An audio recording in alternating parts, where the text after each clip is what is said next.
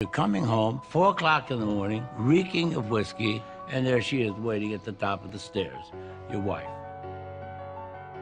You wouldn't believe me, sweetheart. You wouldn't believe what happened to me. Your mind is going 10,000 miles an hour. You're lying at the speed of light. You're lying to save your life. The last thing in the world you want her to know is the truth.